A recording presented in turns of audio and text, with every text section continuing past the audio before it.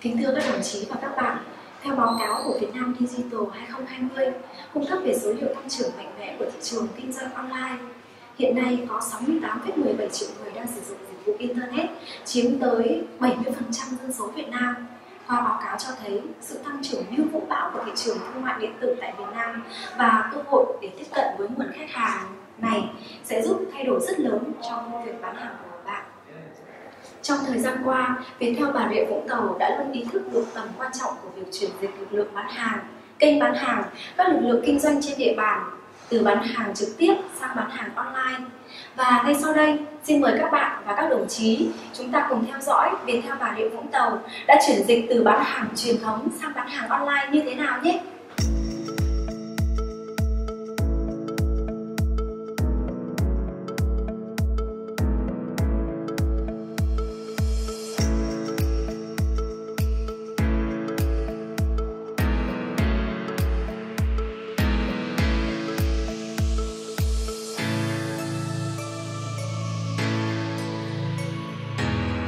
Đồng chí và các bạn, để chuyển dịch bán hàng, Ban Giám đốc Viettel Bà Rịa Vũng Tàu đã xác định tầm quan trọng của phát triển kinh doanh và coi đào tạo là điều kiện cấp bách.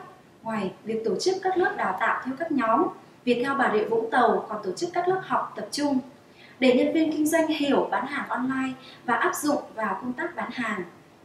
Và ngay sau đây mời các bạn cùng các đồng chí cùng đến với hoạt động bán hàng online của nhân viên kinh doanh điển hình của thành Viettel thành phố Vũng Tàu nhé.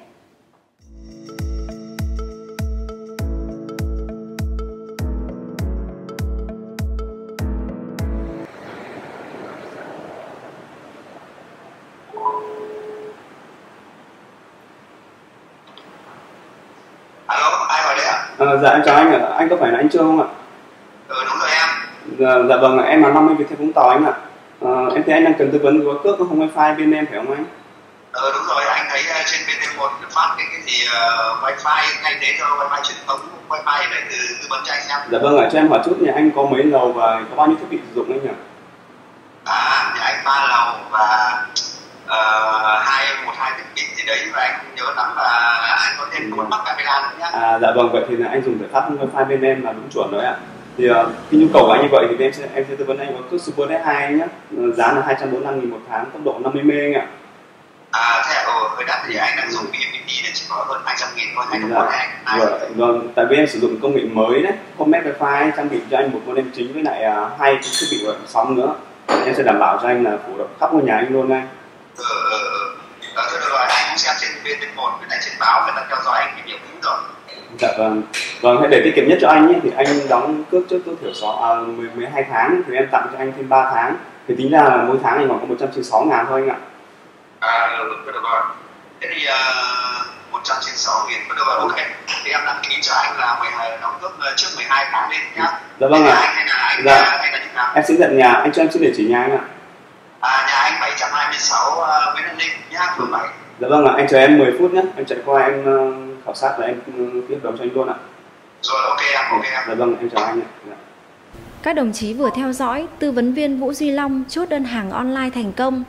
Tư vấn viên Vũ Duy Long trong những năm qua luôn là tư vấn viên bán hàng xuất sắc nhất của Viettel Bà Rịa Vũng Tàu với mức thu nhập trên 40 triệu đồng một tháng. Và bây giờ xin mời các đồng chí và các bạn cùng chốt đơn hàng tiếp theo với tư vấn viên Nguyễn Thị Ái Bích, một tư vấn viên mới gia nhập ngôi nhà chung của Viettel.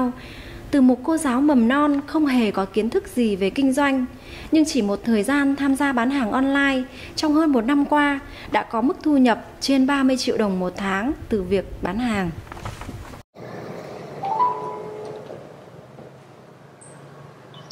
Alo, Dạ alo, cho em hỏi có phải số điện thoại của anh Trương không ạ?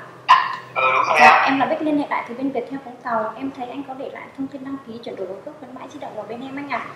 Dạ, à, qua kiểm tra thì em thấy là mức tiêu dùng của anh một tháng khoảng nằm cỡ 150 đến 200 ngàn một tháng. Em à, sẽ tư vấn cho anh cái gói cước phù hợp. Hiện tại bên em đang có đó là gói cước vay 200 ngàn anh ạ. Dạ, gói, À, dạ. dạ, vâng ạ, gói cước vay 200 ngàn thì anh sẽ được à, miễn phí nội mạng dưới 20 phút, 100 phút anh gọi sang các mạng khác cũng như là mỗi ngày là 2 GB data tương đương với 60 GB một tháng anh ạ. Anh thấy gói cước À, đó có phù dạ. hợp không? Dạ vâng ạ. Ừ, ừ, thế này em ạ, ừ, anh thấy anh gửi cho em hết thông tin rồi đấy thì uh, em thông tin thì anh đang dùng dùng với cước nó nó nó nó chỉ có mấy cái uh, internet thôi không dùng Thế cái này được 60 GB internet hả em? Dạ vâng 60 GB trong một tháng anh ạ. À trong một tháng. Rồi rồi rồi, thế thế, thế thì đảm bảo được cho anh rồi.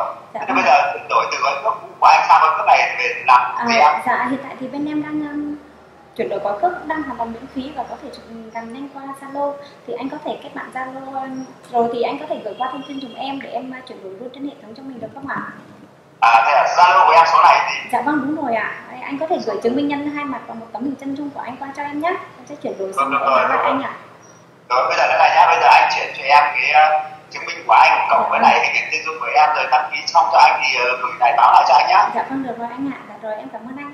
Dạ em chào Rồi anh. rồi, Chào Thưa các đồng chí và các bạn, khi cả thế giới đang chuyển mình và hướng đến công nghệ 4.0, các phương thức thanh toán, kinh doanh online cũng phát triển một cách mạnh mẽ. Vì vậy, là một tập đoàn viễn thông và công nghệ thông tin hàng đầu tại Việt Nam, việc chuyển dịch sang bán hàng online chính là xu hướng tất yếu. Và với việc theo Bà Rịa Vũng Tàu, việc chuyển dịch từ bán hàng truyền thống sang bán hàng online là mục tiêu bắt buộc. Hình thức kinh doanh này sẽ giúp Viettel Bà Rịa Vũng Tàu thích ứng được sự thay đổi của thị trường, vượt qua các thách thức, tiến tới các mục tiêu.